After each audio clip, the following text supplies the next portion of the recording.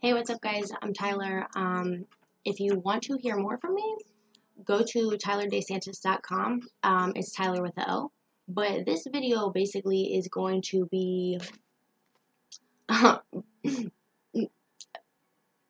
just call the Pope and let him know I need his job. but no, for real, it's going to connect to all the religions in a way that nobody can argue shit with you.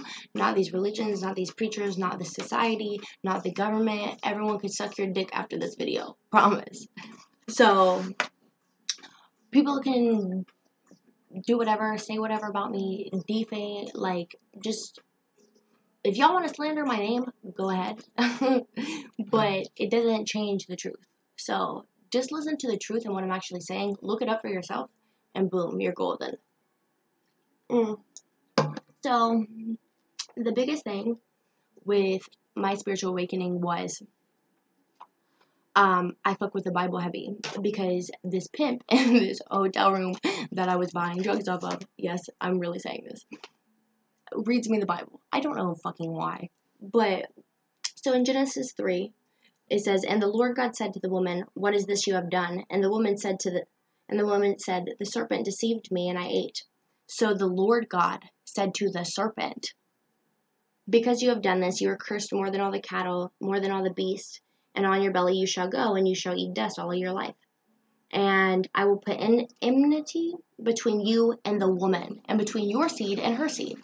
Hmm. So Lord God is speaking to the snake, and he's put an enmity between the woman and the snake's seed. Hmm. Okay. So that caught my attention. It also caught my attention how you only have the Spirit of God in Genesis 1, right? And then further down you have God, then you have Lord God. So who are all these fucking gods? There's clearly more than one God. But in America, we're not taught that way because we're not reading the original Bible and the original translation of it. We're reading this thing that's been translated and chopped shit and given to us. But it still doesn't change its original core meaning because streams of energy from God cannot be changed. We basically live in a land that's um, this is the hero's journey. You have an antagonist, a protagonist, and somebody who needs saved, and a hero. There's not very many characters here. You just have to be the damsel in distress or the savior. Pretty much it's like we need to save our fucking selves. So, um, basically, I don't know how many people believe in mythology, but you will after this. Um, the modern Great Mother, appropriately oversized, poinsettia Madonnas of the past to do child to do the child miraculously visible in a mandalic womb. By so doing, she reminds us that the child hero, the self within, can provide meaningful focus to otherwise dis, um, display activities of a distorted world. So basically, if you the first page of this myth, mythological book, which has literally story upon story, it tells you the hero, your child hero, is your inner self. Okay. Now, if you go skip to the Nag Hammadi, because everyone wants to think that they're God. And they think that because they have had enlightenment, they're God. No, you're not God. Chill. Chill. You have a piece of God in you because your innermost piece is God. That does not make you God. The same innermost piece is in all of us. So in the Nag she says, and she is a he. She's like a triple male goddess. She's like triple male though. It, it's androgynous. It's confusing. So she says, And I hid myself in everyone and revealed myself in them, and every mind seeking me longed for me. For I gave shape to everything when it had no form. And I transformed their forms into other forms until the time when the form will be given. Through me came the voice, and I put breath in my own, and I cast the eternally Holy Spirit into them, and I ascended and entered my light and went up on my branch, and sat there among the children of holy light, and I withdrew their dwelling place and became glorious. So, this is the shit that happens to me it happened to me after after this guy reads me this Bible in a hotel. I'm driving, I'm listening to Gucci Mane, some shit like whatever fucking Atlanta was playing on the radio station, and the shit just started adding up. Like everything on the radio connected to God. Everything. I tried to turn the radio off. The numbers connected. I tried to turn that shit off. Nothing happened. Ever since then, everything's been connecting, and it's because I'm supposed to teach you guys about these connections. So if you skip back to Norse mythology or um, the Viking runes and skip a couple pages in, it says the speech of the High One.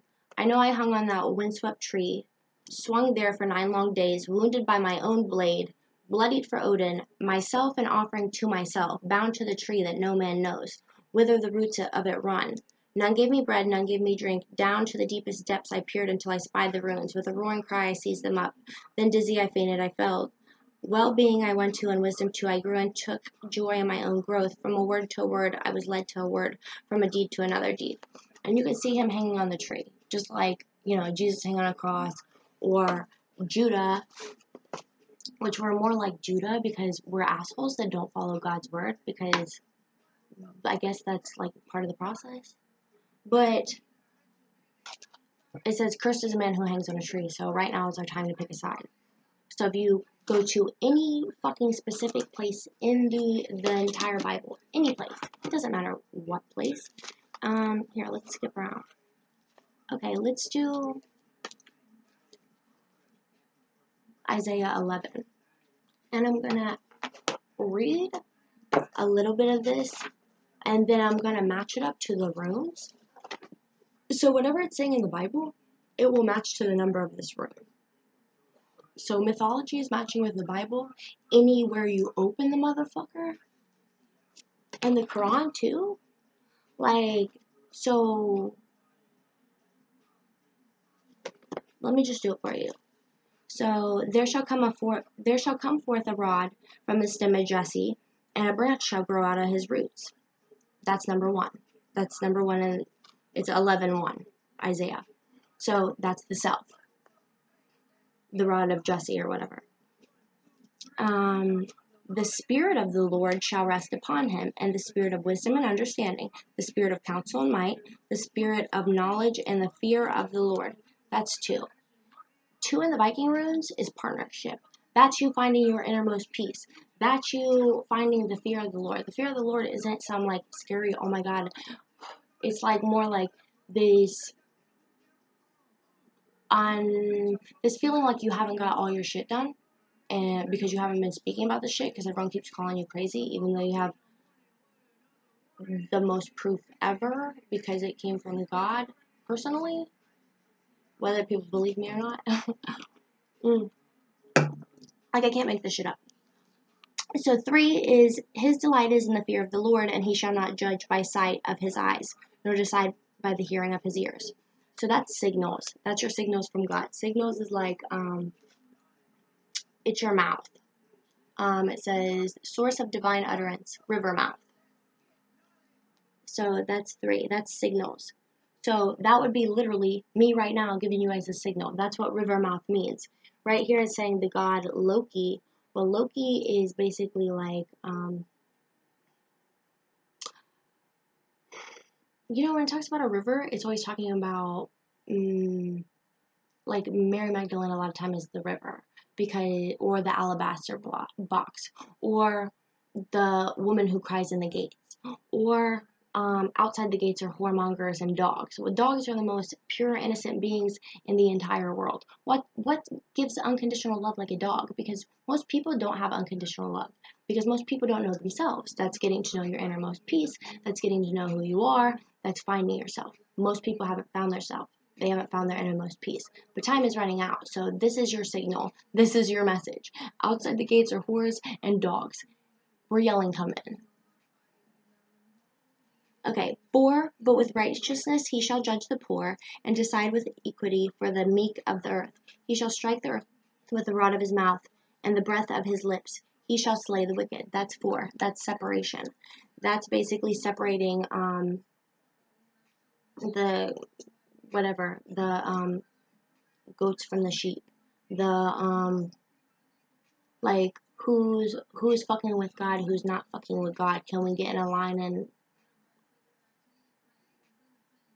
So basically, okay. Anyways, six, the wolf shall also dwell with the lamb. The leopard shall dwell with the goat, the calf with the lion, the child, and the child shall lead them. That's six. Um, six is initiation. So your inner child should lead you. Talk to your cup is basically what it's called. Your cup would be like um, the cup. You're the cup. What's inside your vessel is a fish. So this fish energy is basically your Jesus, your innermost peace, your purest essence, which that is the same thing as this triple male androgynous being. It's the same thing because Jesus is God, who is the Holy Spirit, who are all three. Okay? It has a divine masculine, a di- divine feminine, and this androgynous balance. That's why we have a trinity. So people can sit and be like, oh, don't be gay all day long, but there's always three. There's male, female, and in the middle. So, don't fuck it up.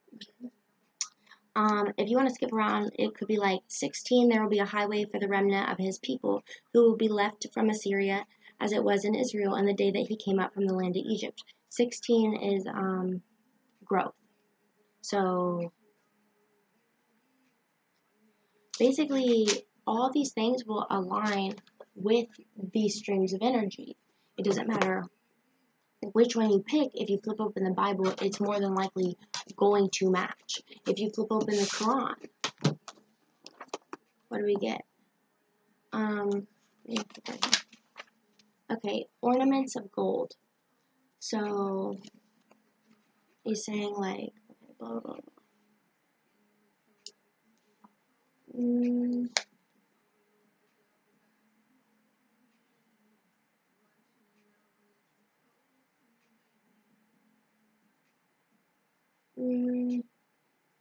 It says, We should have withdrawn the reminder from you as you are a people who exceeded the bounds. And that's five. That's strength. Six. Many a prophet had we sent to the earlier communities. Six is initiation. They sent a shit ton of prophets. I'm not the only person speaking for God. There's a lot of us. It's a whole Christ consciousness. Just like there's a bunch of individual stars in a constellation, there's a bunch of individual people who make up the body of Christ. So some of us, the people who got chosen or whatever, the 144,000, we just got chosen to speak first and wake everybody else up if they want to be woke up. If not, mm, the earth is dying by fire. It pretty much tells you that in the Bible. Um, not to scare anybody, because if you build your light body, you're Gucci. Which, whatever. Um, so 24 in the Quran was like, even if I bring you a better guidance, he rejoiced. He rejoined, than the one you found on your fathers. Still, they say, we do not believe what you have brought. That's 25 is wholeness, basically. So they're telling. It's basically they went in a circle. And then 25 is, then we punish them, so look at the fate of those who denied. And 25 is the unknowable. So it's like, look at the fate of those who denied, we punish them. This is like, everyone's channeling God, basically. And sometimes a lot of people don't realize that they're channeling God. So the reason God or the Bible doesn't want you to do divination, which is like tarot and stuff, is because people start worshiping the cards more than they start worshiping their own spirit, or they start worshiping the cards more than they start worshiping God. And it's like if you don't have charisma or this gift from God, you shouldn't be preaching the Bible. You shouldn't be teaching spirituality. You shouldn't be um, divinating cards because you're going to speak from your own understanding instead of God's understanding. Because God hasn't put you through these trials and tribulations and He hasn't put you through the same shit that He put me through. So He hasn't gave you the same understanding as I have. You see what I'm saying? Some people are different um, it doesn't make me better or you better or anybody better. It's just God gave us different jobs and different things to do. This is apparently mine. So it's not, um, uh, oh, people used to get mad and like be offended that I said I God spoke to me, and they're like, "Why didn't God speak to me?" And I'm like, "No, He's trying to right now." and then I believe that God will come to everyone individually, and you'll have the same awakening that I had and I knew for sure that it didn't come from myself, that it came from something higher and bigger and whatever than me. So, like, spiritual people a lot of the time want to make themselves God, and I don't believe that at all. I definitely think there's a higher being, there's a higher shit that made us, and it literally wakes you up to save you from this world because it's bullshit. um, it's like separated, so we're trying to make it back whole. We are either going to ascend this entire realm, or this shit's gonna die by fire, because the last world died by water. And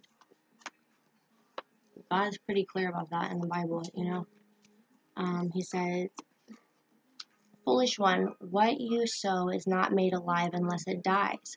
And what you sow, you do not sow that body that shall be, but mere grain, perhaps wheat and some other grain. But God gives a body as he pleases, and each seed its own body. And flesh is not the same flesh, but there is one kind of flesh for men, one for beasts, one for birds, one for fish. There are celestial bodies and terrestrial bodies, but the glory of the celestial one and the glory of the terrestrial is another. There is a glory of the sun, another of the moon, and another glory of the stars, for one star differs from another star. So also in the resurrection of the dead, the body is sown in corruption and it is raised in incorruption. Um, it is sown in dishonor and raised in glory. It is sown in weakness and raised in power. It is sown it, is sown a natural body and raised a spiritual body, and there is a natural body and there is a spiritual body. So it is written the first man, Adam, became a living being. The last Adam became a life giving spirit. However, the spirit is not first, but the natural, and afterward the spiritual. The first man was of the earth, made of dust. The second man is um, is the Lord from heaven. Mm is the Lord from heaven, and was a man of dust, and so are those who are made of dust, and as is a heavenly man, so are those who are heavenly. And as we are born in the image of a man of dust, we shall also bear the image of a heavenly man. Okay, so you basically you built yourself up to a God level, but that doesn't mean that you're God. At least for me, I don't believe that. I believe that God is such a higher, bigger being, but that doesn't mean that your works don't count. It's like you should live by faith, but by work also. Not by faith alone, but by your works. So, what you do in this realm in reality matters. Whether you stand up and speak, whether you feed the homeless, whether you um, bullshit and chase some fake shit or figure out who the fuck you really are inside of you and just try to be this bright light and vibrate your highest and be on your best behavior and best self, not based on some bullshit, but just based on how you feel. Like, does this feel good? Um, is this right? It's like, it's pretty simple. Be nice to people. Don't steal, don't kill, don't lie. And personally, I don't think you should share your energy with people sexually if you're not like married to them, which is like crazy for me to say and people don't get it really. But I'm like, you don't want to share your energy with people because it's precious. You want to find yourself first. So that's why all these people are suffering and they're sad because everyone is looking for um, someone to fill this void space in their chest, and what they really need to fill it with is finding themselves and their passions and their dreams and their desires because we all at the end of the day just want to be loved and accepted and able to do whatever we love to do that makes us happy, whether that be art, whether that be football, whether that be um, writing or poetry or um, whatever it is that you're creative and love to do. And that's where people have shadow and ego messed up. Your shadow self sometimes is your best parts of you. It's just hidden. You've had yourself hidden so long in the shadow that those are your dreams and your passions and who you really are your shadow self is not the bad person.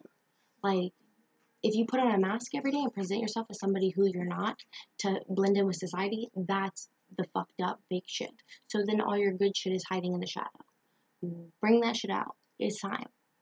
Bring your true self out now. Like, that's what we're doing. We're in this karmic rebirth, and we're basically birthing to the universe this idea or this truth this solid truth that everything is fucking connected. Every story is the same story.